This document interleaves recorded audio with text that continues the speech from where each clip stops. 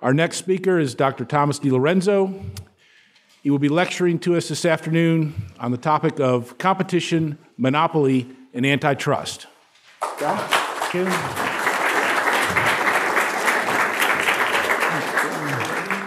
Uh, thanks, Mark. I, I, thought I'd put a few readings here. Uh, if you want to introduce yourself to the Austrian way of thinking about competition and monopoly, um, these are some readings that um, you know, I've, I've, recommended these on the, uh, the advanced reading too, some of them. Uh, the, the Hayek article, The Meaning of Competition, is on the web on Mises.org. You can find it. And of course, as is uh, Murray Rothbard's Man, Economy, and State. Chapter 10 is the chapter on monopoly, uh, so that's worth reading. And then uh, a real classic book in Austrian economics is Dominic Armentano's book, Antitrust and Monopoly Anatomy of a Policy Failure. There's also a shorter version of it uh, that uh, is online. The shorter version is online. The bigger version is sold by the Independent Institute. And, uh, and it's a, just a great book if you really want to learn something about, and at least the, the American experience in the history of antitrust. That's the one to read. And then uh, Israel Kirzner, of course, is a big name in the whole area of competition, entrepreneurship. Uh, and so his book, Competition and Entrepreneurship, is a classic. And I ran out of room. There's an article that I published uh, 100 years ago with Jack High in, in a journal called Economic Inquiry. Uh, and I'm going to talk a little bit about that article uh, today. But uh, it's also, I think, uh, a good quick summary of the importance and significance of how the Austrian view of competition differs from the so called mainstream view of competition.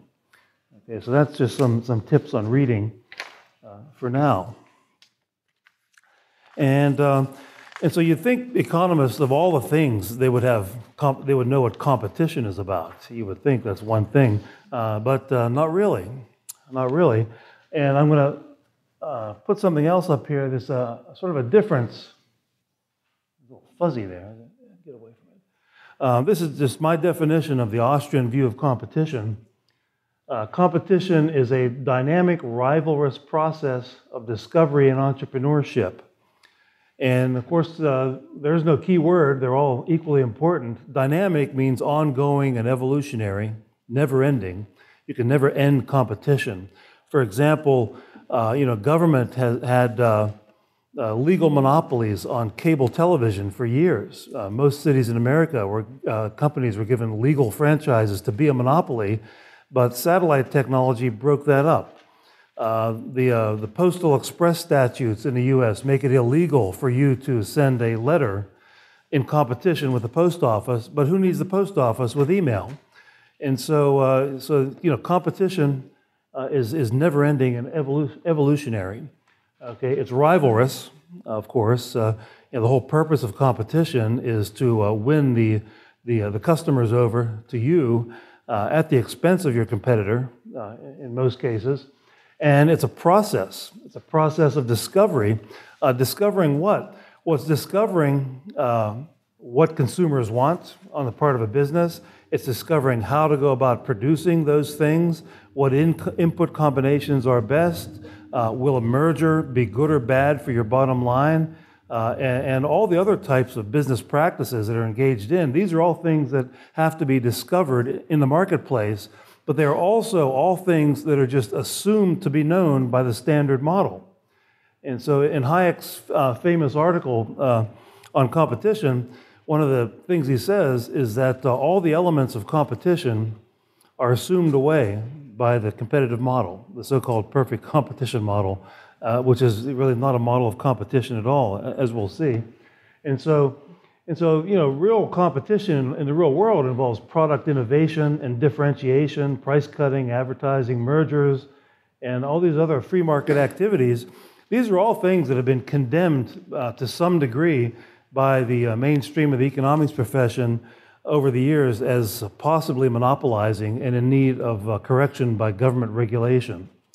And, uh, and this is all part of the so called market failure literature that you're all, uh, some, not you're all, but uh, most of you are familiar with if you've taken uh, microeconomics.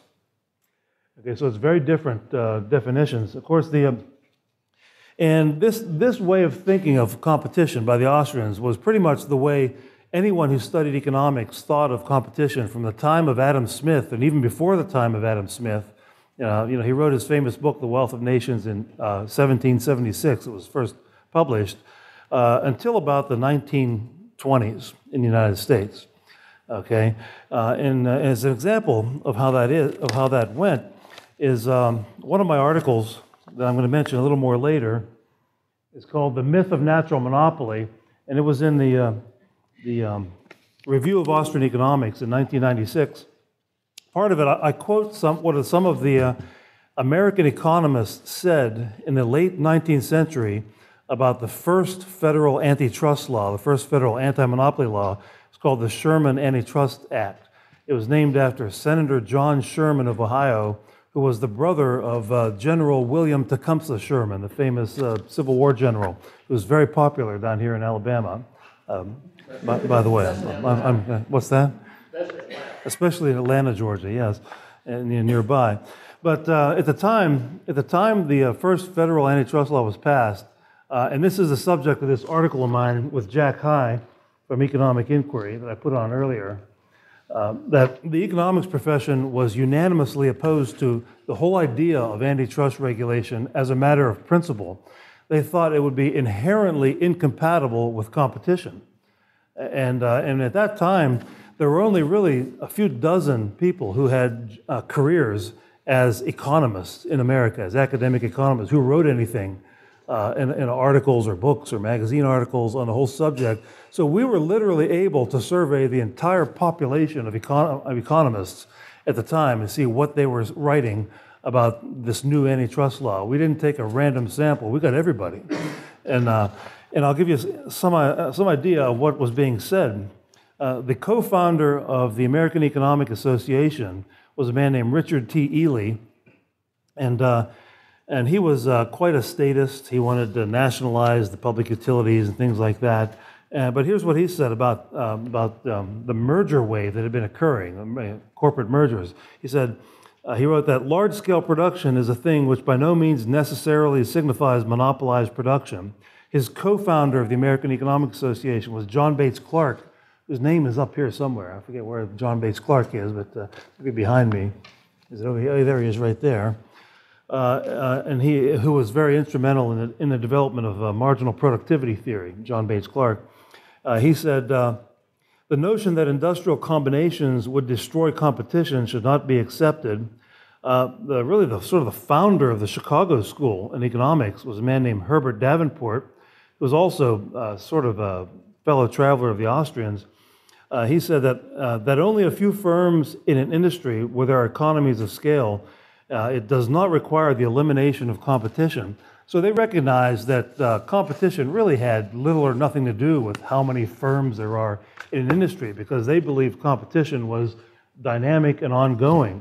It wasn't, uh, it wasn't determined by the number of firms. Um, uh, Davenport went on to say that without large scale production, the world would revert to a more pr- primitive state of well being and would virtually renounce the inestimable benefits of the best utilization of capital.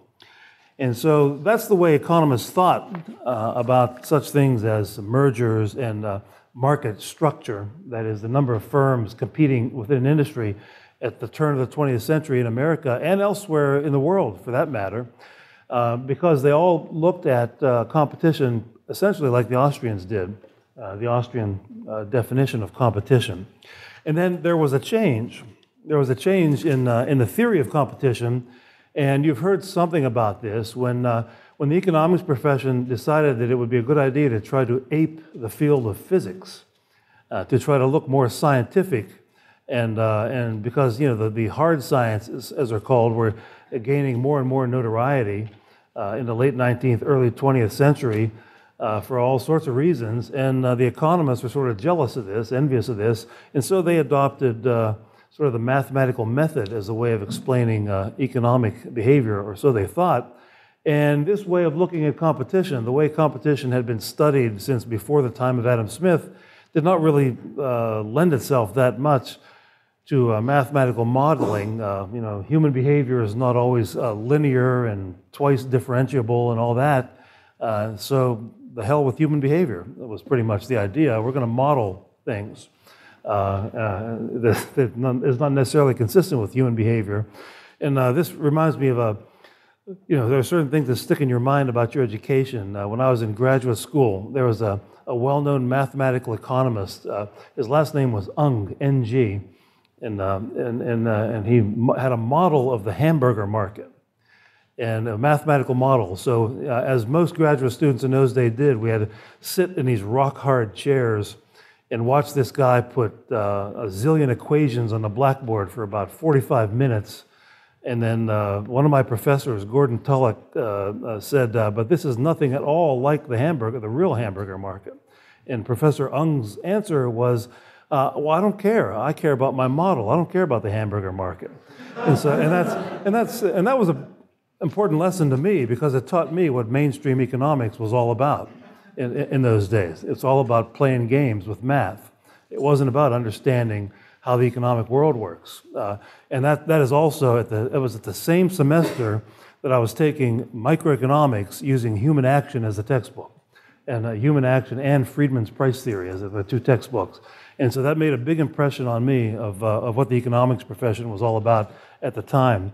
And so, uh, so what happened about in the 1920s, in order to make uh, uh, the study of competition more amenable to mathematical modeling, you know, these various, there, there are other types of assumptions that have been added over the years. But rather than looking at competition as an ongoing process, uh, the model was developed as more or less as an end state, as an equilibrium condition. And these are the, some, you know, the assumptions that if you've ever taken principles of micro or any micro, you know these are sort of basic assumptions behind the, the competitive model as it's called, or the perfect competition model, that was developed in uh, pretty much by the 1920s and 30s. Homogeneous products and prices, many firms, perfect information, costless entry uh, and exit. And uh, originally, this, these assumptions, uh, you know, the standard account is that you know the assumptions can be totally unrealistic, uh, but what counts is can the model explain and predict. So it doesn't matter if the assumptions are unrealistic. The story goes. Uh, this is the famous, uh, you know, Milton Friedman's famous essays on positive economics, uh, uh, which lays this all out. Which, by the way, is a normative statement. There, there's no hypothesis testing in his in his essays in positive economics, uh, but uh, which I always thought was kind of funny. But but that's the standard approach. It doesn't matter. But what has happened in the study of competition, though, is that economists, lawyers, and policymakers have taken these, these assumptions over the years, not in every instance, but in, in many, many instances, as a- actual descriptions of d- desirable competition. So that if products are not homogeneous, um, there's something suspicious. There might be monopoly power afoot. Uh, if, if prices differ, uh, there's something suspicious. It's not perfect. Uh, if the number of firms declines, maybe we need to get the uh, antitrust division of the Justice Department to look into this. Uh, perfect information uh, one of the silliest variants of the perfect information uh, assumption uh, got Joe Stiglitz a Nobel Prize a few years ago, asymmetric information. Uh, but, uh, but ask yourself this who has more information about manufacturing the automobile that you are driving right now, you or the company that built the automobile? Uh, who knows more about how to get a cow standing out in the field and turn it into a nicely packaged piece of filet mignon in the grocery store? You or the farmers and the grocery store owners? Uh, you know, and, and on and on and on. The whole economic world works under capitalism because of asymmetric information, different information in the minds of different people, or different interpretations of the same information. Uh, but this, there's a big literature in economics that says this is market failure. This is a failure of the marketplace if we don't all have equal information it, it's sort of egalitarianism gone insane uh, uh, to, to, assume that markets need regulation and, uh, and correcting by government uh, unless there's perfect, perfectly equal information uh, in the minds of everybody. That's essentially what Joseph Stiglitz won the Nobel Prize for. And of course, if, if there is a real asymmetric information problem, it's with government. Uh, for example, whenever we get into a war, it's always the, the executive branch bureaucrats who, who do all the negotiating and, and, and with other governments that get us into wars. You and I, as citizens, have nothing to do about it, and we know nothing about it. And that's true of most of what government does, isn't it? It's called rational ignorance in the public choice literature. So if there is a problem with asymmetric information or unequal information, uh, I think the, the, the, big problem is that the government's, the government knows a lot more than we do about what it is up to. And, and we really don't have much incentive to acquire that information, really. We're, we're rationally ignorant. Um, but so these are the assumptions. These are the assumptions. So what I want to do next is, uh, is uh, just uh, talk a little bit about uh, the consequences of, of changing the benchmark of competition from dynamic, rivalrous process of entrepreneurship and discovery to these assumptions. Uh, what, what have been the consequences of that? And of course, if you look at the homogeneous product assumption, uh, one of the things that uh, economists have done over the years is there have been various critiques of product differentiation uh, as, as potentially monopolizing. Uh, the, you know, the famous, most famous critiques are, were in the 1930s of uh, two famous books written on monopolistic competition. One was by Edward Chamberlin.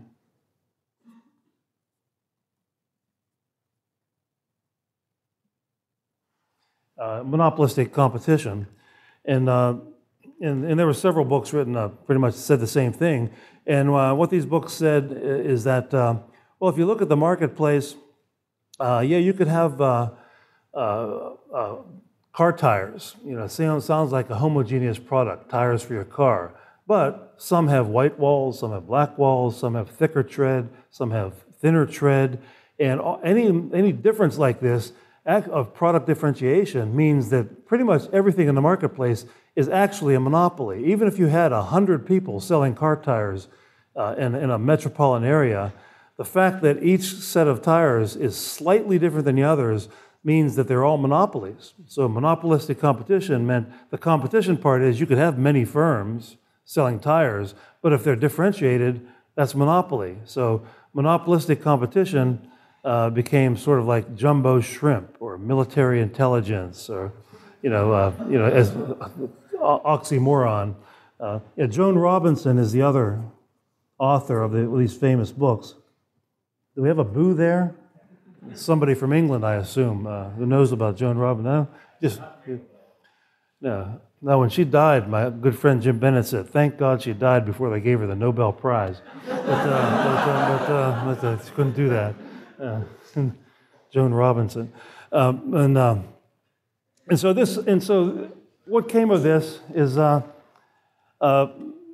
I'm not going to put the monopolistic competition model on the on the uh, blackboard, but you know the standard monopoly model in uh, neoclassical economics. Uh, there's a demand curve, a marginal revenue curve, marginal cost. We'll say it's a constant cost industry. Here's a monopoly price, and here's a monopoly quantity. And the standard model says, well, if there was competition, this marginal cost curve would be the supply curve, and this would be the amount of supply, QC, and this would be the price, PC. And so the thinking of a lot of economists for a lot of years was that, well, if, if somebody invents a new product or differentiates an existing product, and they create literally a monopoly defined as uh, the single seller of something. That's what the, the, standard neoclassical definition of monopoly has been a single seller uh, of a product. Well, then uh, what happens is if you innovate and create a new product, you create a monopoly, and so this is the quantity of output, QM. But if you compare that to a situation where, say, 100 people had the same idea in their head at the exact same time, the quantity would be QC. It would be the perfectly competitive level of output. Therefore, uh, product innovation uh, uh, creates monopoly power, which is in need of regulating by the government. And so, uh, you know, the, the British government years ago, when they were under the sway of Robinson and Chamberlin, uh, tried to homogenize the housing stock in, in cities in England, for example. Uh, in the United States, there's those of us who study antitrust regulation know there's a famous antitrust uh, case, a federal government antitrust law case that is known as the cereals case, as in breakfast cereal. Uh, this was in the late 1970s and early 1980s when the, the Federal Trade Commission sued uh, General Mills, General Foods, and Kellogg's, three companies, uh, for monopolizing the dry cereal industry because they had a 70% market share among these three companies of dry cereal. And they hired an economist named uh, Friedrich Scherer to be their expert witness. The government did. And Scherer came up with a brand new theory of monopoly called the theory of shared monopoly. And he claimed that these three companies were sharing a monopoly, and the tactic they were using was brand proliferation. It was probably also brand proliferation too, but brand, brand with a D and brand.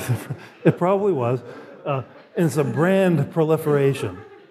And so, you know, if the government pays an economist enough, they'll say anything, uh, apparently. And Friedrich Scherer did. And so they spent years in court arguing over, uh, you know, is Kellogg's and General Mills and General Foods a, a monopoly? Because, and so, but what happened uh, in the end, uh, the cereal companies won the lawsuit. They defeated the government. Uh, they didn't force them to break up or, or anything like that. Uh, but when, when you win a lawsuit against the government in antitrust, you don't really win because it costs you millions of dollars in legal fees and thousands of hours of time that people had to divert to uh, fighting the government as opposed to producing better products for your customers and, and making money and, and, you know, being an, a business person uh, rather. And so you never really win. But uh, in the end, what happened was uh, there's a famous quote by the judge in the, in the case. I could paraphrase it. He said something like, uh, I don't like dry cereal. I eat bacon and eggs in the morning. And, uh, and the point he was making is that uh, they define the market too narrowly. There are a lot of substitutes for dry cereal. So that even if they had some sort of monopoly power and raised the price of dry cereal, people could easily have bagels or oatmeal or bacon and egg, you know, other, other breakfast foods are readily available as far as that goes. And of course, you know, what's to stop other companies from underpricing them? You know, if, if they if they did, uh, you know, they didn't even accuse them of having a single monopoly. They only had 70%. They didn't have 100% of the market. And so what happened was these three companies uh, were among the first to, uh, to be successful at mass marketing healthier dry cereal, uh, you know, granola and things like that. Whereas prior to that, it was all you know sugar-covered cornflakes and things like that, and it really caught on in the 70s. And they were rewarded with their entrepreneurship with big profits, and no one was stopping their competition from doing the same, from investing many millions of dollars in R&D and marketing research and uh, putting out these new products. And so, to, uh, as a reward for taking all this risk and spending all this money, developing all these new products that consumers loved, they were punished by the government with an antitrust lawsuit.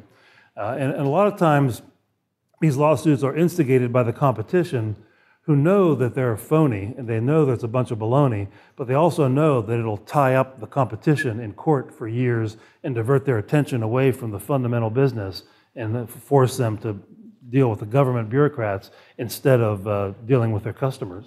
And so that's, it was a, a, a bit of a success for the competitors of these three companies. And, but, but the theory of comp- perfect competition uh, was at the bottom of this. This is how Frederick Scherer uh, was able to be the expert witness. He was a Harvard professor at the time, and uh, he invented this theory of shared monopoly. And, and, but it was basically based on this. And this type of thinking that came out of this assumption uh, is, is an example of what is called the nirvana fallacy. The nirvana fallacy in economics, I think the phrase was coined by the economist Harold Demsetz, who used to teach at UCLA. And uh, there was an article he published uh, in the Journal of Law and Economics around 1970. It was 69 or 70. It was called Information and Efficiency Another Viewpoint, Harold Demsetz. And the nirvana fallacy is basically what welfare economics is all about. You pick some sort of situation that is, uh, that is totally utopian and unattainable, like perfectly com- competitive equilibrium here in a world where everyone has perfect information and everyone knows everything. If one person invents a new product that people like, everyone knows that invention. It's assumed to have perfect information of everybody, not just one person. And then you compare that utopian, unachievable ideal to the real world right here, which comes up short and then you say, aha, the market fails. Okay, altogether now, you know, you can, you know, so you know, it's, I used to call it aha economics because they would, uh, because all these mathematical models in welfare economics basically do this. They, they, they spin a tale about what competitive equilibrium would like in this never never land of perfect information, free entry and exit, and blah, blah, blah, and then say, oh my God, the, mark, the real world does not look like heaven on earth. Uh, we, we, but government does. Government does. Okay, they don't apply the same, they never apply the same criterion, Pareto optimality, to, to uh, government. Uh, I can recall being at a conference once where this was being discussed, and uh, a friend of mine, Dwight Lee, asked one of these, these uh, hotshot welfare uh, economics theorists from Yale, uh, uh, or the guy from Yale actually asked the question, well, what criterion do you think should be used for, to analyze government behavior? And Dwight Lee said uh, the same criterion, Pareto optimality. You know, why would you use a different criterion in economics? And, uh, and so if you, use, if you use the same criterion, then of course government would be uh, infinitely more failing than, uh, than the marketplace. And the guy from Yale didn't like that. he didn't, didn't change his ways at all uh, as far as that goes, but that's, that was the right answer. And so, yeah, if you compare the real world, like someone invents a product that people like, to the situation where everyone, 100 people had the invention at the same time, yeah, the real world falls short. But the real comparison is the real world of the output level QM to this output level, zero. When you innovate a product, you increase uh, the production of something, you increase consumer welfare. You increase consumer surplus, as, as they call it, because you're going from zero to something. Uh, but the sort of the dishonest way I think that uh, the neoclassical economics goes about it is to compare something to the unachievable utopian ideal of nirvana out there. And so the market always comes up short when you do that. And, uh, and so, you know, on, on contrast, the Austrian way of looking at this is that product differentiation has always been looked at as a competitive tool. That's, that's how you compete. You innovate, you experiment, you try to find out what people want. You don't always do the right thing, you waste a lot of money.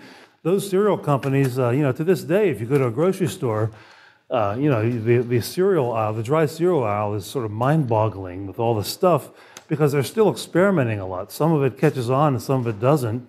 And then you can always go and find the $1 box of cereal. That's the, the junk no one wants. And so, uh, how many people buy that box whenever you go to the.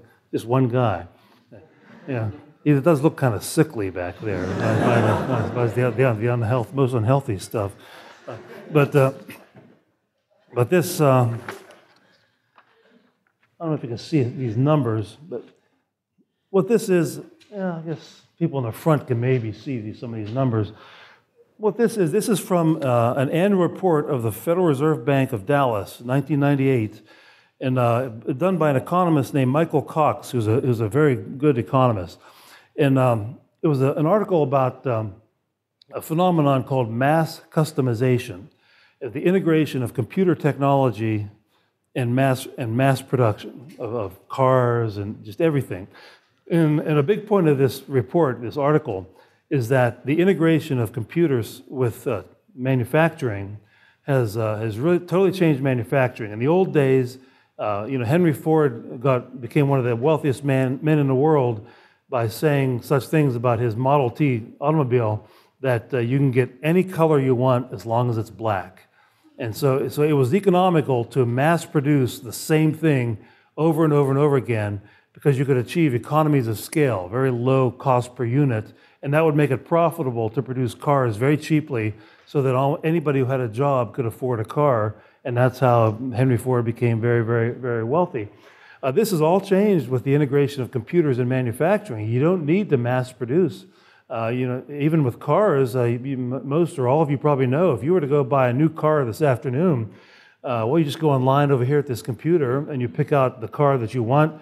You, you click on all the add ons that you want, all the uh, the, the type of stereo you want and everything like that.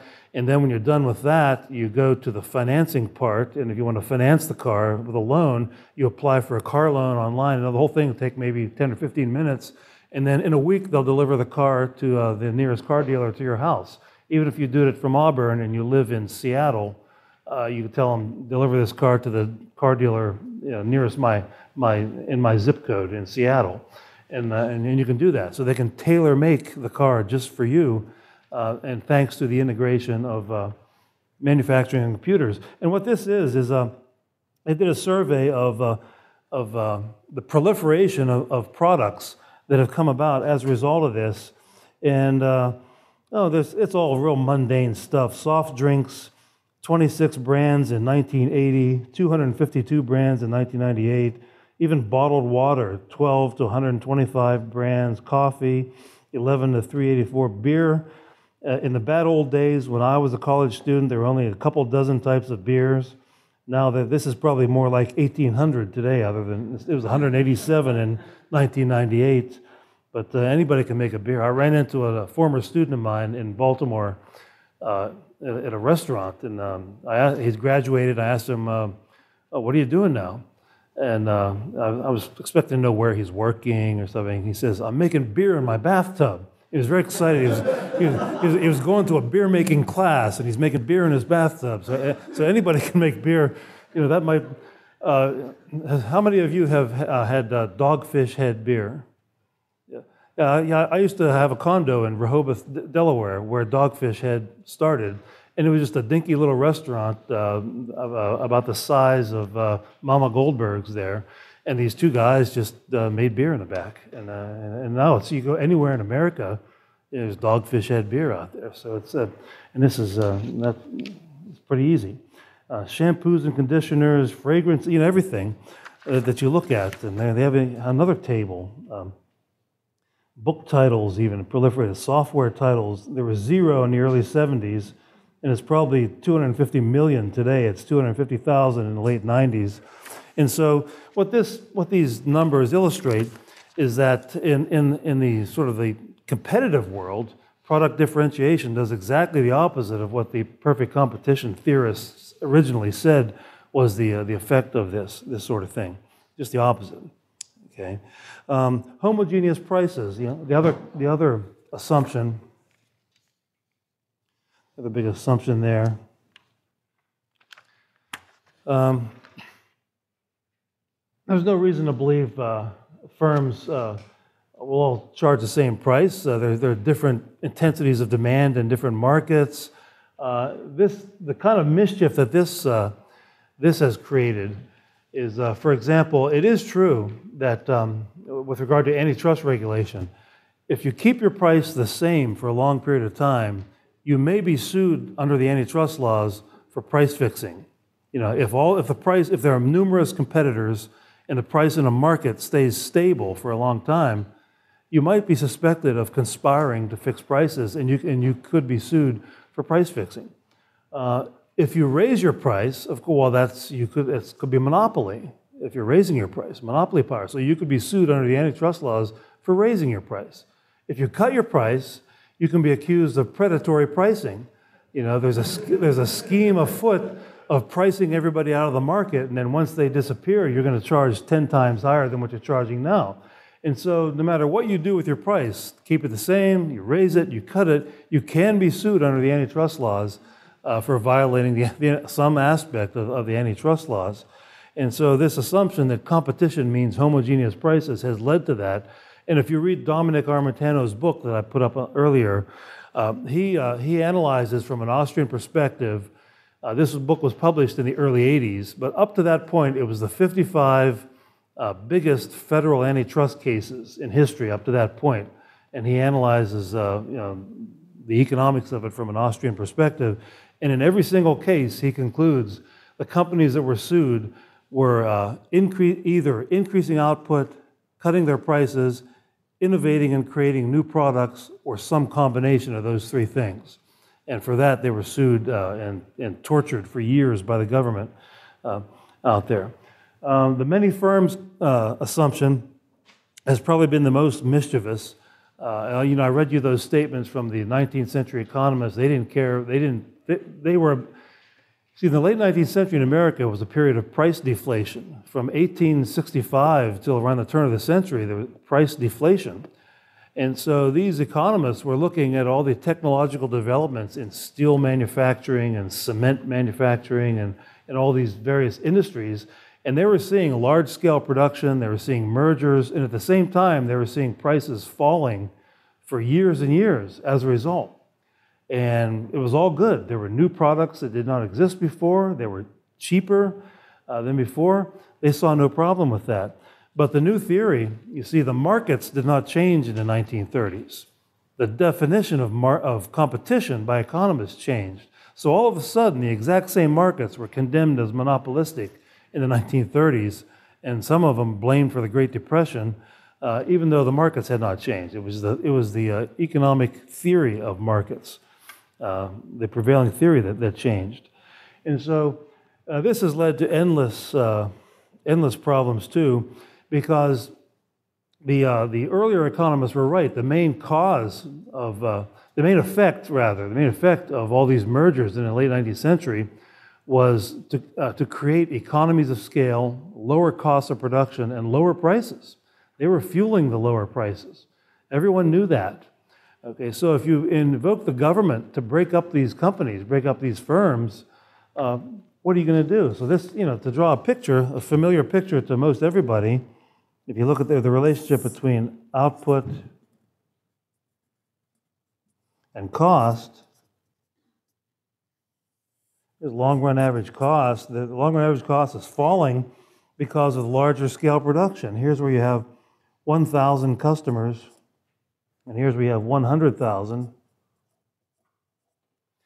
Lower cost per unit. Uh, but if, if two companies merge, uh, to create this situation of larger, of larger production, 100,000, which enables them to drop the cost. Say the cost up here is $100 per unit, whatever, whatever they're producing, and down here it's $10. And that is a result of a merger. Uh, well, you know, other companies will want to compete by doing the same. Other companies will compete. They'll see, well, these two companies merge, they got economies of scale. Um, it costs them $10 to make this thing it costs us $100 to make this thing.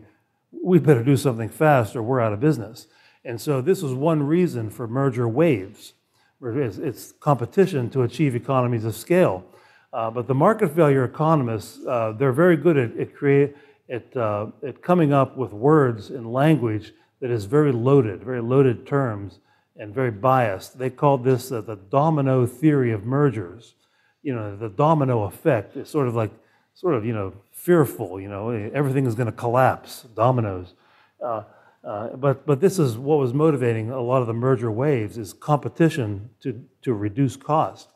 But if the, if the theory, the prevailing theory says fewer firms is a bad thing, and the government comes in and breaks up this merger and forces it back to here, uh, you're back up to it costs $100 to produce this thing again because the market is not big enough. One of the famous chapters in The Wealth of Nations by Adam Smith was called The Division of Labor is Limited by the Extent of the Market. And he meant that he didn't use the word economies of scale, but lower, you know, lower cost production it was caused by the division of labor, the benefits of specialization in the division of labor. And what does he mean when he said limited by the extent of the market? Well, if you could only sell in England your market is limited. But if you could also sell in America and all the rest of Europe, you have a much bigger market. And therefore, you have a much bigger division of labor, labor and specialization, and you're able to produce at a much lower cost. That's one of the fundamental principles of economics, which was abandoned by the perfect competition model when it said many firms uh, is a requirement for, uh, for competition. And so when the government comes in and breaks these firms up, it's bad for consumers because it causes higher costs and, uh, and higher, uh, you know, ultimately higher prices. That's been the whole history of it. Uh, and some of the some of the judges and politicians have been quite uh, ludicrous in in uh, in their pronouncements on this. Uh, this theory, the theory of perfect competition, led to the thinking in the field of industrialization that, that it became known as the structure, conduct, performance paradigm.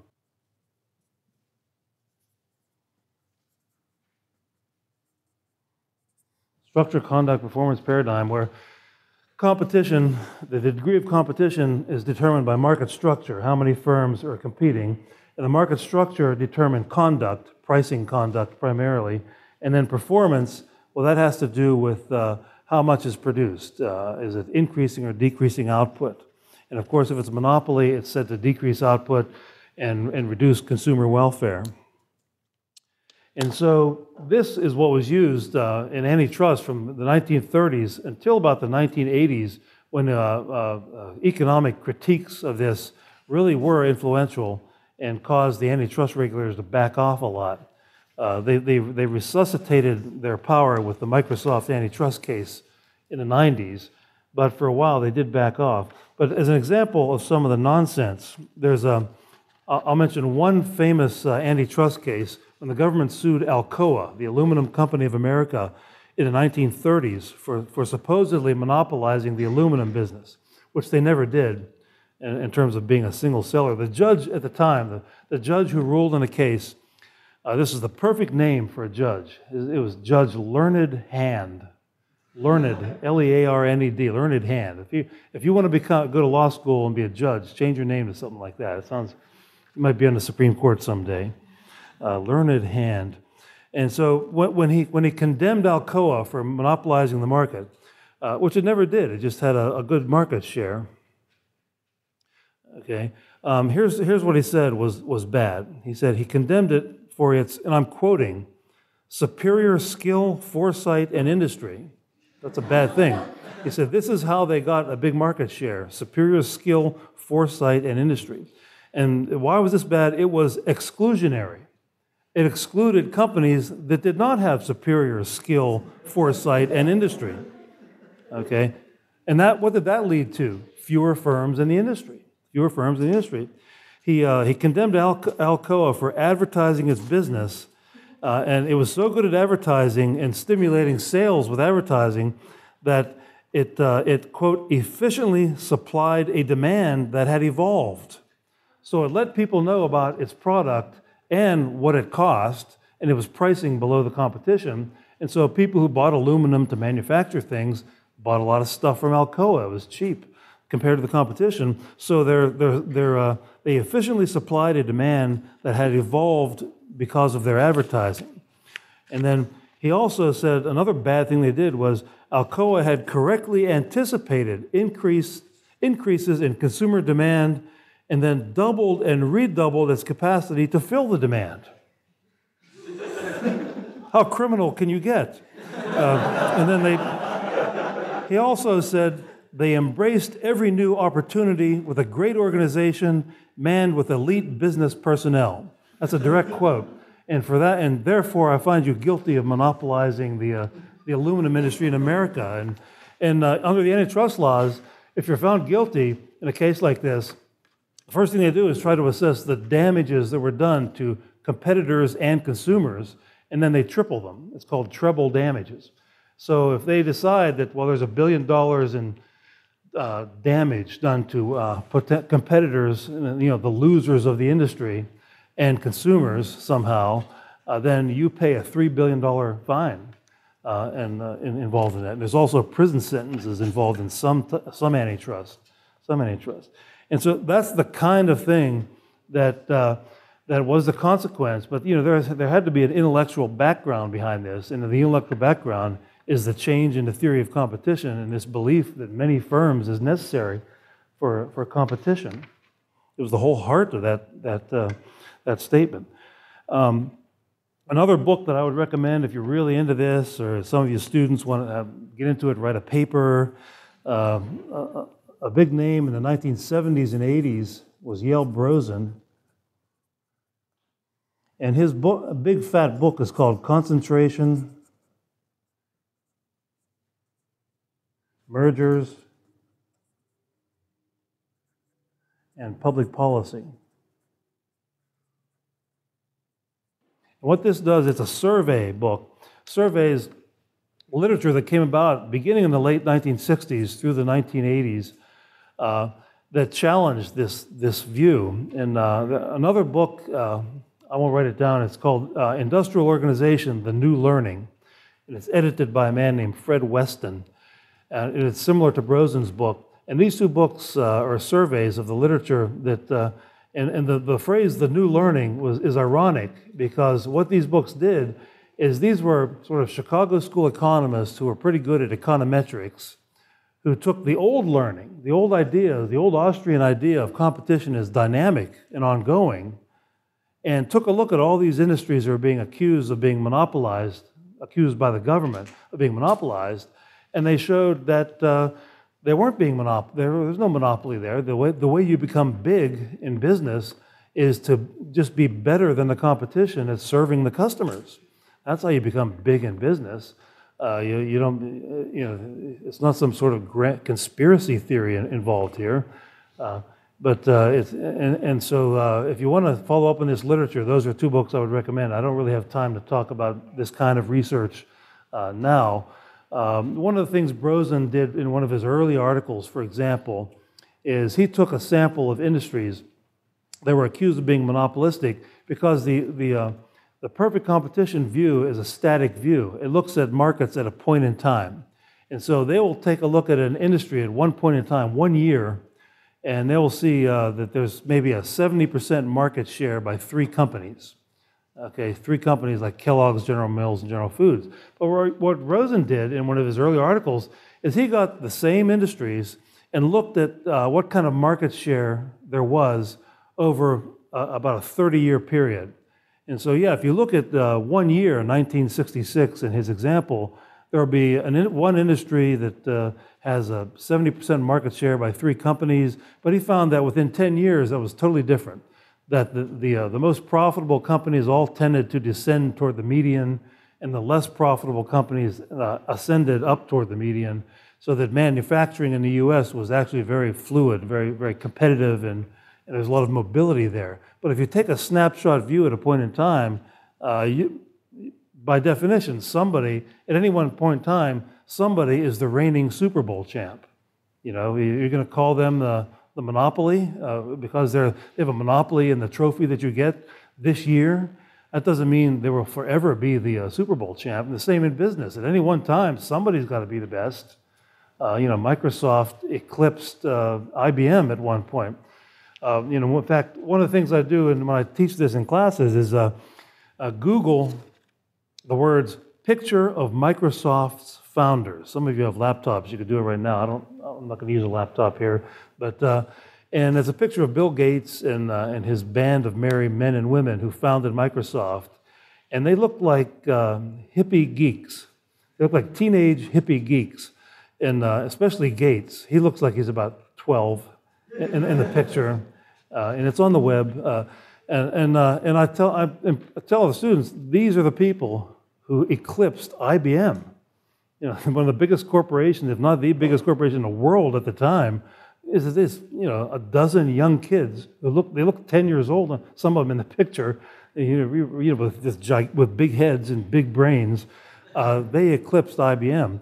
And so, if you, but if you look at IBM, their profitability in 1970, uh, you would think, wow, you know, 90% of the computer market uh, is monopoly.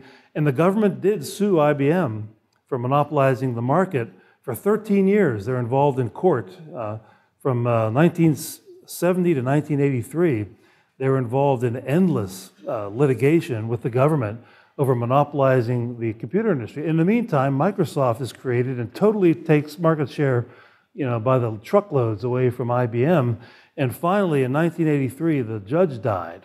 The judge in the case died, and so the government just said, "Oh, the hell with it," and they, and they gave up because to, to, to uh, resume the case, the, to, to make the new judge credible, he would have had to have gone up to speed with 13 years of litigation. You know, and how long would that take?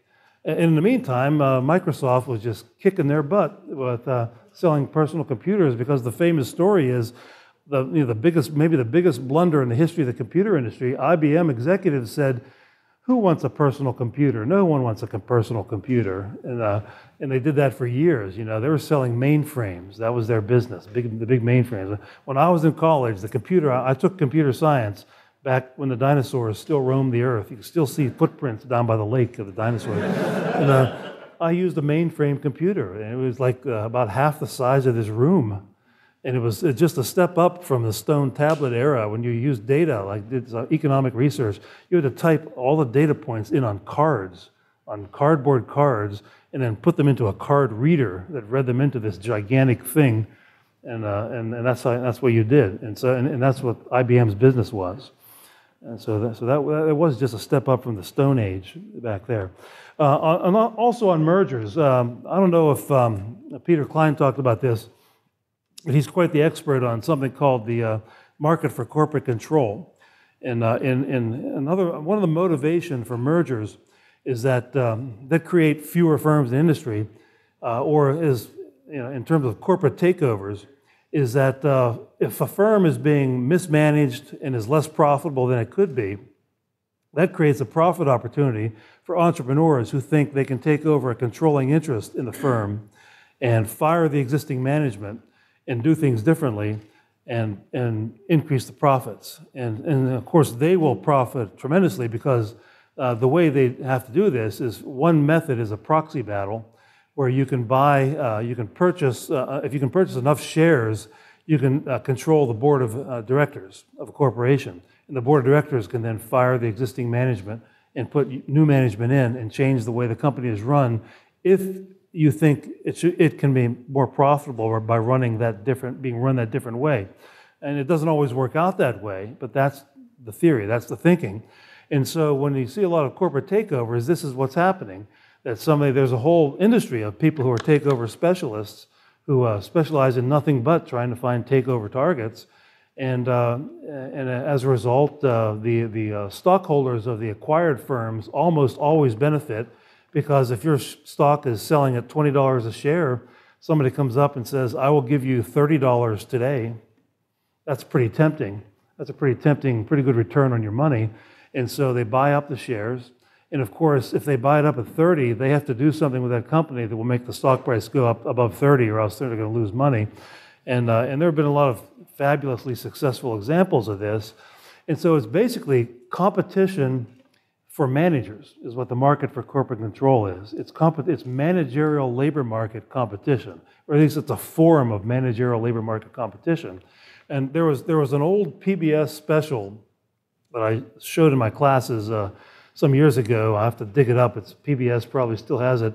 It was uh, they had um, some of these famous corporate takeover raiders, like uh, a guy named T. Boone Pickens. That's a good name for a corporate raider, corporate takeover. T. Boone Pickens, a Texas oil man. And uh, so on one side of the table, they had people like Pickens, who I met once when I was at Washington University in St. Louis. He, he actually funded a conference on corporate takeovers, and he, he was there.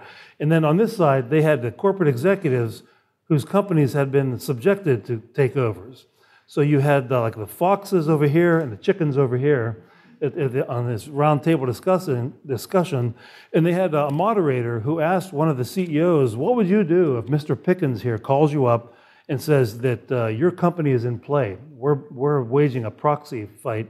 We're buying up shares, uh, and if we get enough, we're going to kick you out of your job."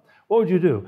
And the corporate executive said, Well, I would call a meeting of the board of directors and uh, we would uh, figure out everything we could do to uh, shut down our unprofitable plants and uh, increase our product line and increase our profits and, and, and so forth. So he gave a big long list of reasons uh, or, or ways in which they would increase profits so that we could go to our shareholders and say, You don't need Mr. Pickens, we will make more money for you ourselves. And, uh, and what, what question does that beg?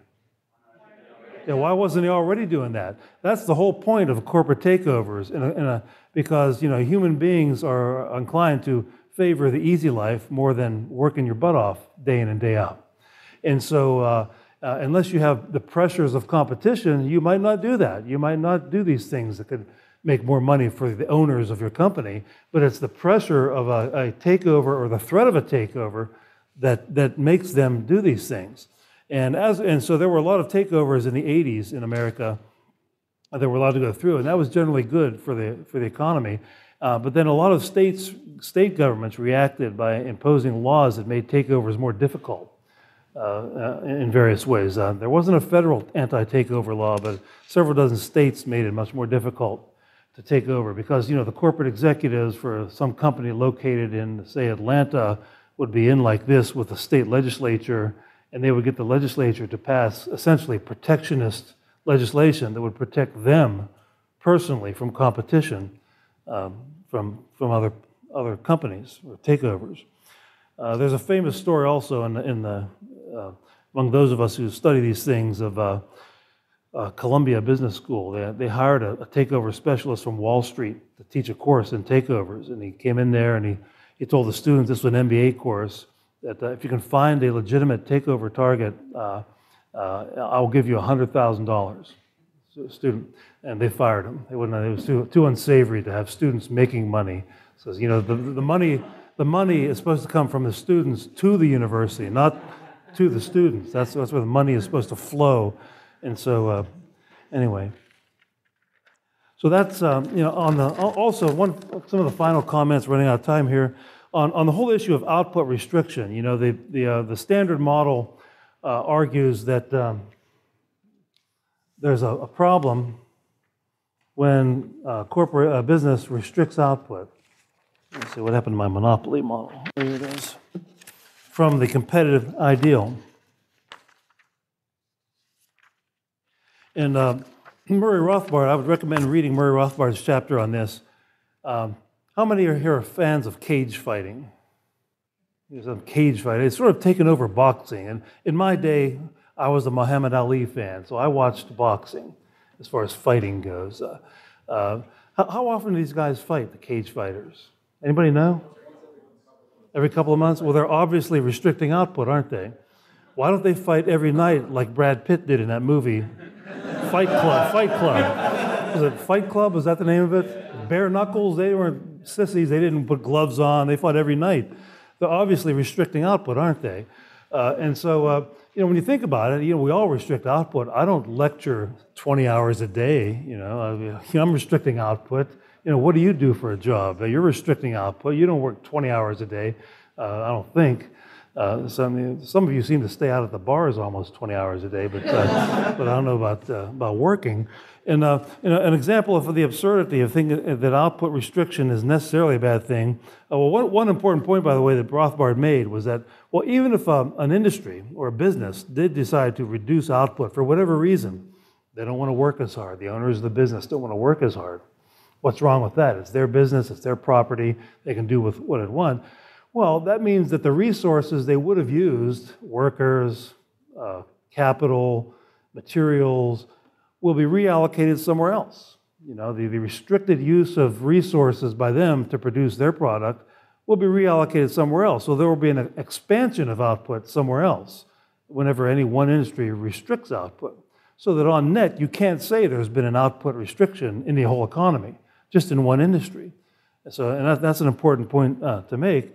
And uh, if you think of the absurdity of this, uh, the one actual uh, case that I, example that I, that I often give in my, in my talks on this is uh, I was at a conference where there was a, a person from the Federal Trade Commission bragging about all the good things they were doing. And one of the brags was that they were investigating uh, Detroit auto dealers who, in the wintertime, were all closing down at 5 o'clock in the evening. So if you were in downtown Detroit in the middle of the winter and it's snowing and it's 10 degrees Fahrenheit, um, it would be impossible to buy a new car. And, uh, and so and he, thought, and he, he was explaining to this crowd of several hundred people in Washington, D.C., that they suspected this was a, a conspiracy to restrict output and thereby drive up the price of cars in Detroit. And so, uh, and, and I asked them the obvious question uh, Does this mean that uh, forced labor is a requirement for economic efficiency. Because what else are you doing if the government says you must stay open until 9 p.m.? It's, it's forced labor, it's servitude. You're forcing them to work four more hours a day when they have voluntarily chosen, no, I don't want to work four hours a day. And so uh, it really is kind of absurd when you look at this. Uh, look at it this way, or look at it as, you know, why don't they force the cage fighters to fight every night? You know, they're, they're restricting their output as far as that goes. Um, let's see, what should I pick in the two minutes that I have left uh, uh, to talk about? Oh, the perfect information assumption. I didn't really mention that, other than, uh, you know, if there was perfect information, it would, it would make advertising unnecessary, wouldn't it? Who needs to advertise if everyone knows everything? And so that has been an additional source of mischief, uh, in that uh, Uh, you know, a lot of advertising has been attacked as, uh, as unnecessary for economic efficiency for many, many years. And, um, and basically, the final thing I'll say is that the real source of monopoly has always been understood for centuries as government. Uh, in fact, uh, until the antitrust laws came, on, came along line in America, uh, most of what happened with regard to uh, the subject of monopoly in the law was based on British common law, which looked at monopoly as a government grant of monopoly. That was always the case. That was the case in Adam Smith's day. It was the case all through the 19th century, and, and it's still the case. Uh, you can't have a monopoly in a meaningful sense in a free market because there's too much competition, especially in today's world where there's, you know, with globalization uh, being so, so prominent, uh, somebody from anywhere can crop up and, uh, and compete with you. But um, if, I'd recommend my own article, The Myth of Natural Monopoly, that's on the web, uh, where I show that at the time the so called natural monopolies were monopolized by government, the phone company, the water utilities, the electric utilities, there was vigorous competition everywhere. And uh, some companies did try to form cartels, but what, typically what happens is they find that it's futile. They can't form a cartel. There's, still, there's always cheating. And so they run to the government and get the government to enforce the cartel arrangement. The, the way in which, in, where I live in uh, Maryland, uh, Baltimore Gas and Electric became monopolized. I quote this in my paper that uh, they tried to form a cartel. the several companies that were operating, and then finally it didn't work. So they went to the state legislature and made this deal: we will give you uh, uh, $15,000 and 15% of all profits if, in return, you give us a monopoly in electricity. And the, the politicians said, "Okay, good deal." So it was basically a, a share the loot deal between the state legislature and uh, this one company. And that happened all across America in electricity, natural gas, water supply, cable TV, telephone, uh, and, and, so forth. And there's nothing natural or free market about any of these. It was all, they're all put into place by government uh, regulation. Uh, time, uh, uh, Mark here says time's up. Time's up for what? Uh, okay. for my monopoly. Okay. My, my monopoly. Okay. I guess so.